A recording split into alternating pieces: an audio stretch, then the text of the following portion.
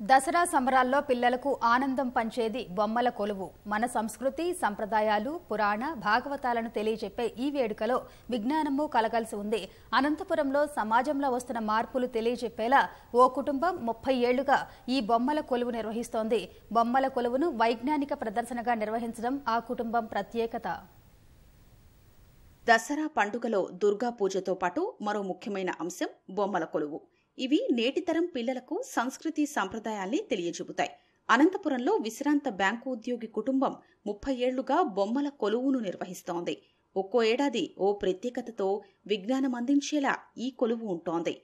ఈసారి పిల్లల కోసం అనేక అంశాల్ని బొమ్మల రూపంలో ఏర్పాటు చేశారు. గోవర్ధన కొండెత్తే కృష్ణుడు ఉట్టి కట్ ఉట్టి పెట్టే కృష్ణుడు దోగాడే కృష్ణుడు వెన్న తినే కృష్ణుడు లడ్డు తినే కృష్ణుడు ఉన్నారు మా ఇ- మా బొమ్మల కొలువులో పార్కులో దేవకన్యలు పైనుంచి వచ్చి మా పార్కు ఎంత బాగుంది అని చూస్తున్నారు. మీరంతా మా మా దసరా కొలువుకి రావాలని కోరుకుంటున్నాము. మైసూర్ ప్యాలెస్లో దసరా ఉత్సవాలు ఘనంగా నిర్వహిస్తాము.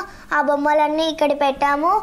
కొంతమంది బెంగాలీ నుంచి వచ్చి బెంగాలీ స్టైల్ వేసుకొని మైసూర్ ప్యాలెస్ దగ్గర ఫోటో దిగుతున్నారు. కొంతమంది వెళ్తున్నారు. ఫుల్ సందడి గుర్రాలు అన్నీ వచ్చాయి. సో మీరు మా బొమ్మల కొలువుని తప్పకుండా చూడడానికి రావాలి.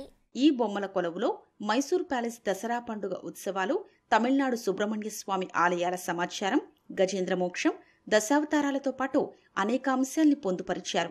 కుంభకర్ణుడి నిద్ర వంటి పురాణ అంశాల్ని సులభంగా అర్థం చేసుకునేలా బొమ్మల్ని అమర్చారు.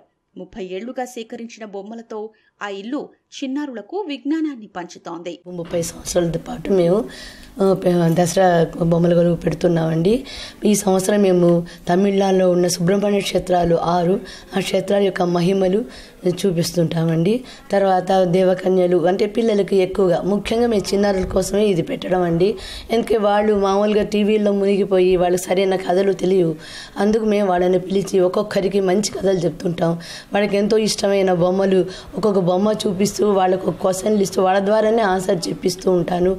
తర్వాత వాళ్ళకి తెలియకపోతే ప్రతి ఒక్కరికి ఆ కథ చెప్తుంటాను. రోజు అనేక మంది చిన్నారుల్ని పిలిపించి వారితో పాటలు పాడించి బహుమతిచ్చి పంపుతున్నారు. పిల్లల నుంచి మంచి స్పందన ఉండడంతో ఈ నెల పదో తేదీ వరకు బొమ్మల కొలువు కొనసాగించాలని నిర్ణయించారు.